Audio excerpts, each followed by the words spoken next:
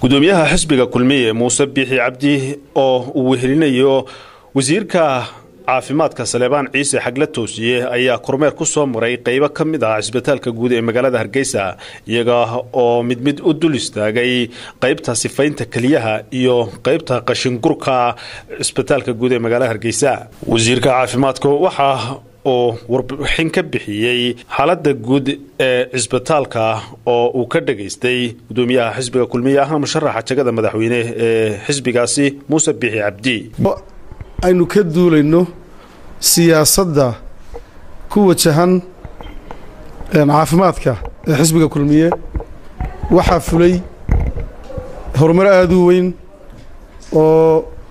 dhinaca caafimaadka iyadoo siyaasadda xisbiga kulmiye ee xagga caafimaadku ay tahay mid ku salaysan in la gaadhsiiyo adeegyada caafimaadka meel kasta oo dalkeenna ka tirsan iyo in uu helo muwaadin kasta oo reer somalilanhi adeegyo caafimaad oo tayaysan iyo in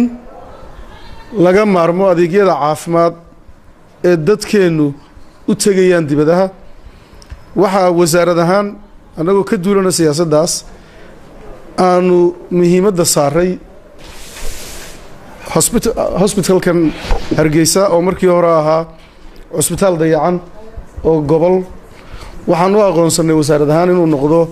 cusbitaal qaran. Geesta kalena gudoomiyaha xisbiga kulmiye waxa uu ka hadlay sidii loo tayayn lahaa adeegyada caafimaad ee uu bixiyo cisbitaalka guud ee magaalada hargeysa waxaana uu yidhi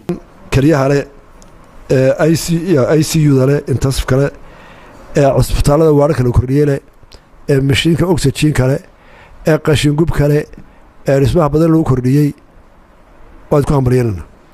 waxaase hubaala intaa in ka badan baynu u noloshu way koraysaa dadkeennu wuu korayaa bahaydu way koraysaa. Waxaan ku soo ururayaa bacda caafimaadka waxaan leeyahay. Waxaynu mustaqbalka xoog saari doonaa saddex qodob si ay caafimaadkeenu kor u kaco ka horreeya waa dadka. Caafimaadka waxa wax qaban karaa dad aqoontooda aada loo dhisay aynu maal badan gelinno